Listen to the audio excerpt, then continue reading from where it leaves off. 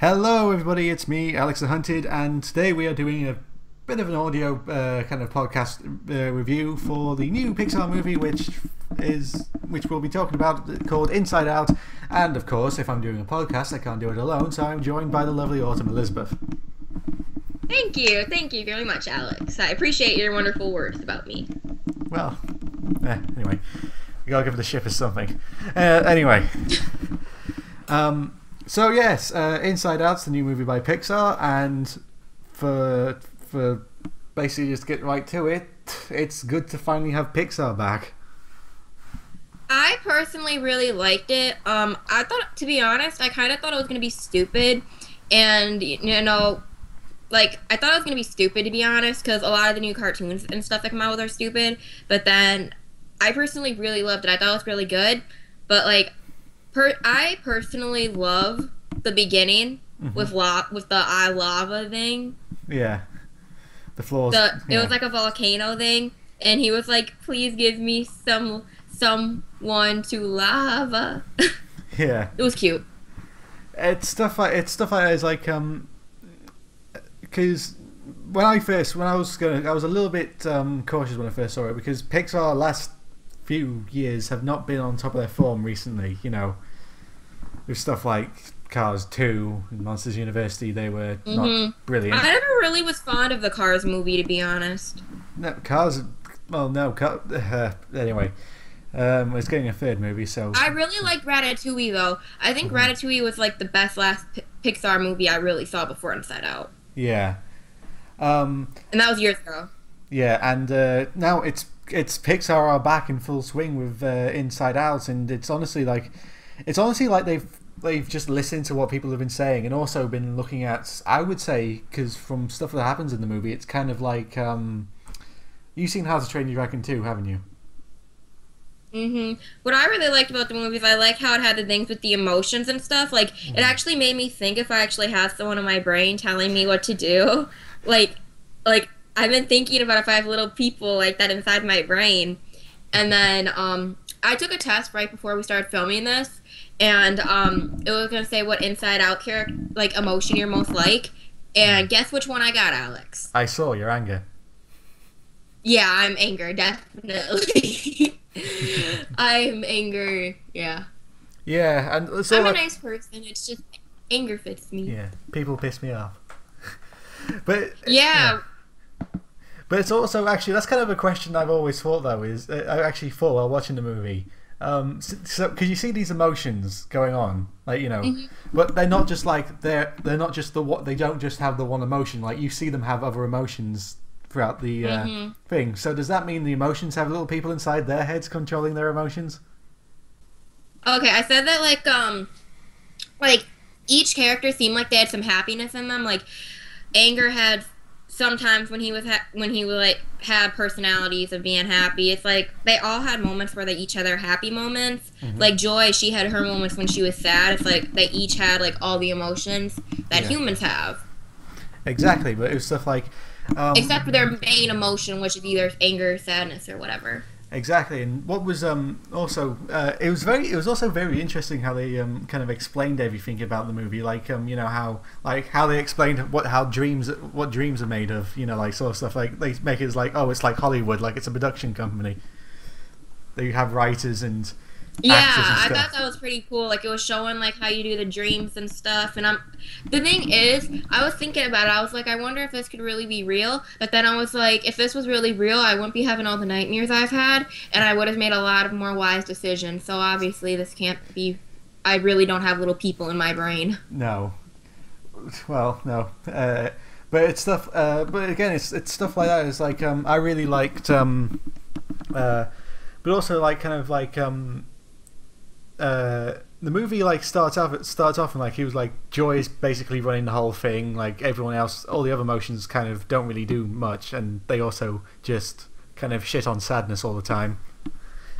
Uh, like they treat they treat sadness like crap Mhm. in this movie.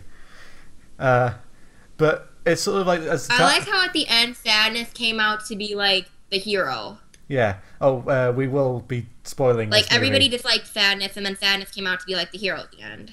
By the way, we are we uh, we should do spoilers. Then we should be spoiler warnings if we're going to talk about stuff like that. But yeah, like um, uh, but yeah, like I know what you mean. Is like um, I know a big spoiler. well, let's save it for a little bit first before um, but yeah, it's like um, like the movie isn't like um, it isn't like some. It isn't like it's. It's kind of like this, you know, like, sort of like a road trip movie, if you know what I mean. Like these people are stuck in this one place and they have to get back to where they belong, sort of thing. Like it's that movie t- trope. was- Yeah, that was what it kind of seemed like. but the It story, did seem like that. yeah, but the story isn't. Um, but the story isn't. Oh, let's make sadness happy. It's more. It's more uh, joy realizing that all, sadness is needed and stuff like that. Like all the other emotions are needed. It can't, everything can't just be joy, Mhm. happiness, and everything. Yeah, it feels like Joy kind of realized, you know, that like she needs a little of everything in her. That uh, Ryan needs a little of everything in her, like fear, anger, sadness. You know, like that she needed to have like a little each of everything in her, not just happiness. Exactly. Yeah. Um, Because it seemed like she thought that like you know she needed just happiness. and it's stuff like um, you know, Should we talk about Mr. Bing Bong? shall we? I, he was kind of uh, he- he wasn't my he what he wasn't my favorite character. I loved Bing Bong. yeah.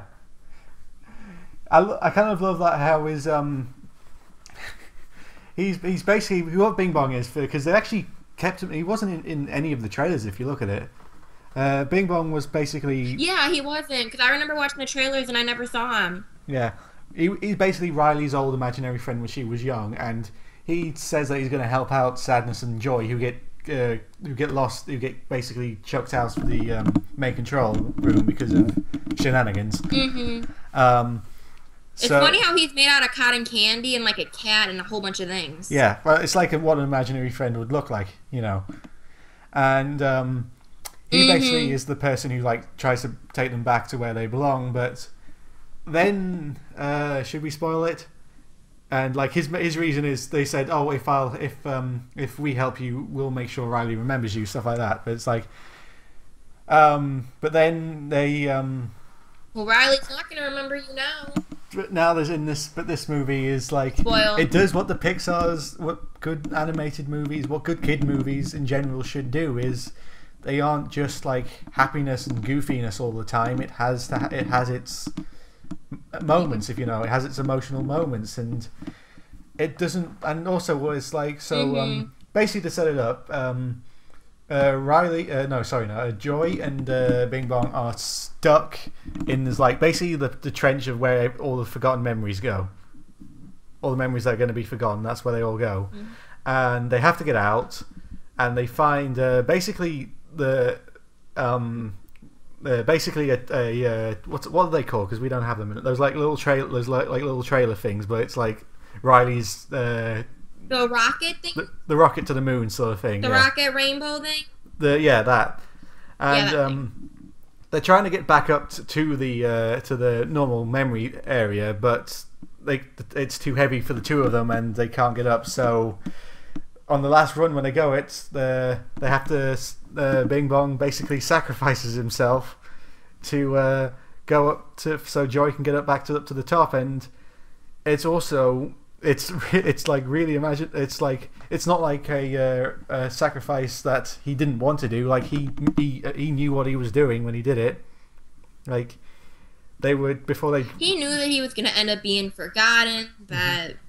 Well, I think he did it because even though he knew that like like Ryan would forget about him, I think that like he thought that you know like it was best that like you know she got her happiness and everything because he knew if Joy didn't get back to her that her Yeah. whole life would like go way way down the drain. yeah exactly Which we did see that her life was going to if Joy mm-hmm. never returned because and joy if Sadness yeah never returned. because too. joy and sadness weren't there all the the emotions was it I did cry though when Yeah, but when Bing Bong died, Bing Bong, Mm-hmm. I like I didn't cry, but you know, I had tears in my eyes you know, it wasn't emotional, but I mean, I cried in a couple of other movies when other things died more than Bing Bong just because like, you know, like Bing Bong didn't die a painful death, you know, he was like happy when he basically died, like you know, he was waving and he faded away basically yeah, like he faded away like um you know, it, it was like an okay thing for him. Yeah. So I mean, it didn't really upset me really that much. I just thought it was but it's one of those things like which I say to Train Your Dragon Two did very well was like they didn't do the typical like movie trope was like the characters died oh no but oh wait no we can bring them back they they're back now you know because of like the power of magic or something like that we brought them back. Uh, what um Bing what happened to Bing was like uh, they did what other movies like they get they get in a habit of like oh no the character's dead uh, Mhm. but oh wait no we can bring them back through the power of magic or something like that. In this like in this movie and also like in how to train your dragon 2 like when the characters when the character dies like they never they come don't back. come back. they're not coming back. They died they're they they're gone forever. It's sort of like that thing is like that's how you should do it. Is like that because if if you kill someone off and then just bring them back that completely ruins the emotion you know what i mean? It doesn't become as emotional anymore but but then again inside out did also have its other emotional moments where um so basically during the end of the movie um Riley decides to run run run away from home because she's moved to a new place and she hates it there and she wants to mo- she Mhm. wants to run away back to her old place. Well, I mean, if I if I personally ended up having to move somewhere new and you know I just didn't really like it, Mm-hmm. then and I was in Ryan's position, I personally feel like that I would feel the same way. But you know, she's so young too. She don't understand the. I don't think she would even understand the consequences of running away, of like the different things that could actually happen to her. But that's also the things like the emotion the emotions um like it was anger who was doing it. He was basically he was controlling her to say like they should run away. Um, uh huh. Like I- it. Like at the end of the movie, she ended up talking to her parents saying that she wanted to move back to Minnesota. And you know, if she could, it like I feel like if she could have just done that all along, like if the other emotions could have helped her do that Mm-hmm. instead of like you know having her run away, then Mm-hmm. that that would have worked. But you know, they but it was of that thing, it's like- ideas because But it was weren't. it was sort of that thing. It was anger who was controlling her, and you know when people are angry, they tend Oh, to make, yeah. they tend to make the wrong decisions. Yeah, I remember Anger said though when she was getting on the bus that it was that she shouldn't that she shouldn't be running away. He said something like that, you know, like where he was starting to change it. Yeah. So I think that eventually they all started to kind of understand that you know it wasn't the right thing for her to actually do. Uh-huh. Exactly. But it's sort of thing. She's like they're saying she's twelve year old. She she's uh, naive, so she wasn't exactly um, you know, Mm-mm. Being Not the that- smartest. yeah. It's like you don't really know like running away. Oh wait, this could go horribly wrong.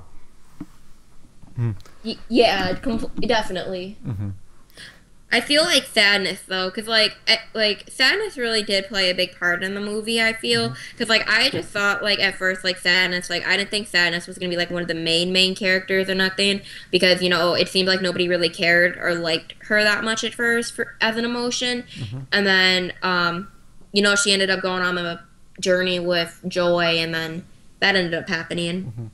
And it wasn't and it wasn't sadness that changed. It was joy that changed. If you know. Mm-hmm.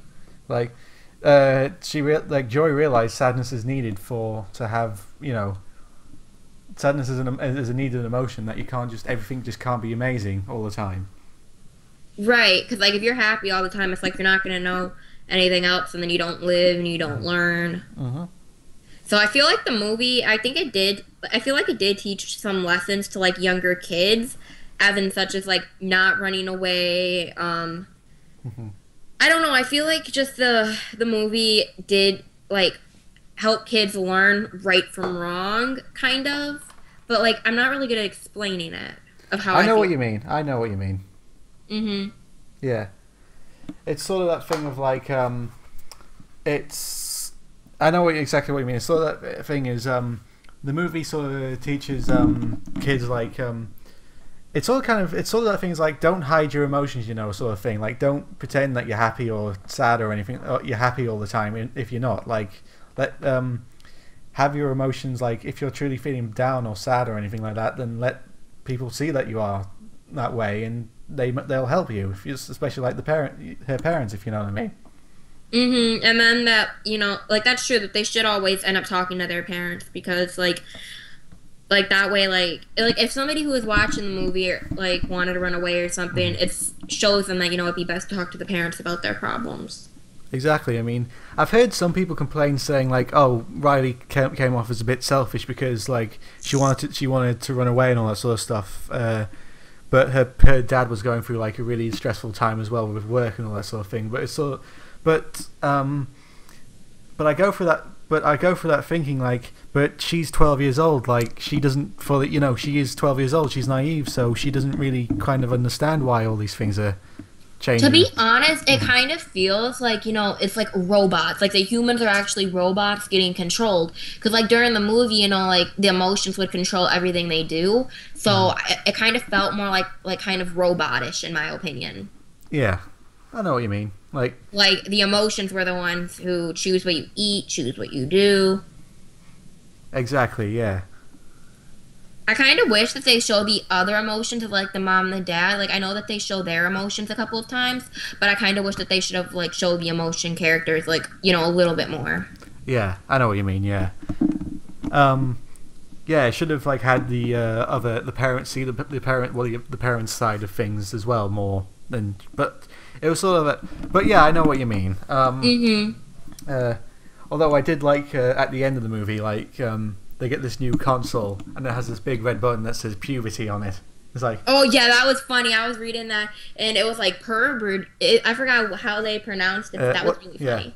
yeah, it's sort of like it's like oh I'm sure that's nothing to worry about. Which also, if you think about it, means it's a great lead up to this a sequel if they ever make a sequel.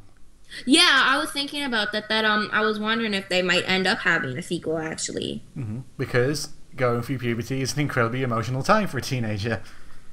Mm-hmm. They might actually do that possibly. Um, I feel that if this movie gets enough hits, like you know, a lot of people watch it and it gets the good star ratings, then they probably would end up making a sque- sequel because I didn't think I thought it was a really good movie for a cartoonish. For an animated movie, Yeah, for an animated movie because I'm not really into animated movies that much, but I thought it was pretty good. I mean, it didn't. Um, I looked at the box office. It didn't. It on its opening weekend, it didn't beat Jurassic Park, uh, Jurassic World. I don't think nothing would beat that. That movie was awesome. that Um, movie actually did have me crying. Yeah. Jurassic World. Uh, it didn't beat Jurassic World, but it did come second, and it did make a lot of money. So, hmm if that continues, then I do see it probably making a, it probably getting a sequel. I mean, it's definitely getting critical. Uh, it's definitely getting good critical um, reaction. Right, and since it's in second place of like Jurassic uh, World, I feel like you know that they probably will end up making a sequel. Because if a movie does get really good ratings and good stars and makes like a lot of money on it, then you know that shows the producers that people really liked it, and you know that People they want want they'd like to have Yeah. another one, and then that will m- make them want to make another one because they'll also be making more money. Exactly. Yeah. I mean, we know there's going to be Jurassic World. There's going to be a Jurassic World sequel. I mean, Oh yeah, definitely. that definitely. made so because that movie's made so much money. Yeah, I saw it the um second night it came out, and I, oh my gosh, I love that movie so much. Yeah. Um, it's like, uh, but also it's like I keep thinking like 2015 is it's it's such a good year for movies if you consider everything that's been coming out and co- going to be coming out. Hmm I agree because there has been a lot of good movies I have seen this year at the theater, and then I know there is a lot of also more good movies coming out. And um, for example, like they're coming out with Ted Two, Hmm. XL. Yeah. Oh, the new Magic Mike movie. You're going to be seeing that, are you? Like, you know, they've just came out with a really lot of good movies, and you know, I keep looking to see what new movies are coming out for like the rest of the year. That's going to be at the theater, and it looks that like there's a couple movies I want to see at least Well, I mean, if, that come out once a month. I mean, if we're talking about movies that are coming out, I mean, we got the well Star Wars at the end of the year. Oh yeah, definitely. I'm excited for that too. And also, like that's one thing is like all those reports saying like you know, oh Jurassic World, it's the highest, it's made, it's broken the record for the most amount of money made on an opening weekend. But then Mhm. Star Wars is going to come out in December, so you know, and It's Star probably Wars, going to break the yeah, record. Star Wars is going to make so much money. Yeah. I'm excited to see that one also. Uh, new James Bond as well. hmm I know that they're also coming out with um. Oh, I'm trying to think of the name of it. Um, ca- uh, Catching Fire. Oh yeah, break uh, hunting uh, the Hunger Games. Yeah, but Hunger Games. They're also going to be coming out with the last Hunger Game movie. That's supposed to be the last one in November, and you know that's that's since it's the last one and it's popular. Yeah. That's going to get a lot of money Because it followed it. the routine that all book series seem to be following right now, is that the last book has to be split into two parts. hmm I'm personally ex- excited for um, the movie called The Gift to come out. It's like a horror movie, but it's like a serial killer movie at the same time. But like if you watch the preview for it, it looks really, really good. Hmm. Yeah. Have you seen the Babadook? Oh yes, I watched that on um, Netflix. Yeah. That movie was crazy. I I couldn't believe it. Like I thought it was so crazy. Like I got upset when the dog died, but like I thought it was a really crazy, interesting movie. It's a psychological horror. Yeah, like I thought at first it was boring, and then I was watching the whole thing, and I'm like, this is actually a pretty good movie. Did you get it's Did you get scared? Did I get scared? Um, I thought it, there was some parts that I did jump, and I did think were pretty scary, but I did think it was a good movie. Yeah, I did too. Uh, speaking of horror movies, the new trailer for the new Paranormal Activity movie just came out. I personally don't like the paranormal activity movies just because I'm not that into horror movies. Like I love horror Yeah. movies, but I'm not into the ghost ones just because the ghost horror movies like those don't really scare me or excite me that much. And also, the Paranormal Activities, well, pretty much all found footage movies now are just jump scares, if you know what I mean. It's like just flash something in your face really fast, sort of thing. Mm-hmm. I know I'm gonna sound lame for this, but I'm excited to see the Peanut movie. No, you don't sound lame because I am too. It's, it's Snoopy and Charlie Brown. Yeah, and then um, I'm I just went. I've been going through the thing as we've been talking, looking at the movies coming out, and um, January 29th of 2016, they're going to be coming out with a Kung Fu Panda 3. Oh yeah, the oh yeah, I just saw that. I'm really excited to see that because I love Kung Fu Panda and um, I love the first and the second one. So um, Mm-hmm. I'm hoping, I know Kung Fu. Panda made a lot of money, so I know it's going to be pretty good for the third one when it comes out. I really am hoping it doesn't fall into that uh, problem that usually like the third sequel of a movie isn't the best. You know, is not the is the worst one. If you know mean. You know. Well, and yeah, I thought for Shrek though, for like Shrek one, two, and three, I thought those all were pretty good though. Like, but I feel like Shrek kind of like the fourth one wasn't that good in that one. I thought all of them were good, but I thought the fourth one was kind of off. Yeah. Well. Yeah, Uh, but yeah, I mean, it's it, it was time for the series to end anyway. But Yeah, I agree completely. yeah, I think I put in all the parts that you know that I thought were important and I thought that were meaningful to say. yeah. I mean, it's very. It, it was. A, it, I just. I did really like it. I thought it was a. Um, it was. It's Pixar back doing what Pixar do best. Yeah, I completely agree. I think that everybody should go. That like everybody should probably see it. Um, I don't think it's a movie for everybody, but I do think that a lot of Mhm. a lot of people would um like to see it. Mhm. I mean that that would actually really enjoy it. So I recommend for a lot of for everyone to go see it. That you know it's Oh, into wait. that type of movies, I guess. I remember. but um, that's all I have to say for the review. It's good that uh, this movie didn't rely on like gross out humor and like there was no poo or fart jokes, if you know what I mean. Yeah, I feel like that it was more appropriate and like like it was more mature than Mm-hmm. a lot of the new movie animated movies that have been coming out recently. So I thought that the maturity level of it was really good. Uh huh. It's like it's it does it has that humor level which kids will get and also uh, adults will get as well. Right, like I Mm-hmm. definitely laughed through it, and everybody that was at the theater when I saw it, they were all laughing through it as well. And also the point I'd like to raise up is also um this movie didn't have a villain. If you saw, like it didn't have a bad guy. Oh no, it didn't. They didn't have like a bad guy going like I'm going to take over Riley's m- mind. Right, like most movies do have the uh, villains. Yeah, this was kind of just about the journey, if you know what I mean. Yeah, I think that it was very well done. Yeah. So yeah, that's our thought. Um, final thoughts. It's a very good movie. You should go see it. Uh, if everyone, everyone should see it. So we want Pixar to know we want more of this and not go back to like Cars two level stuff.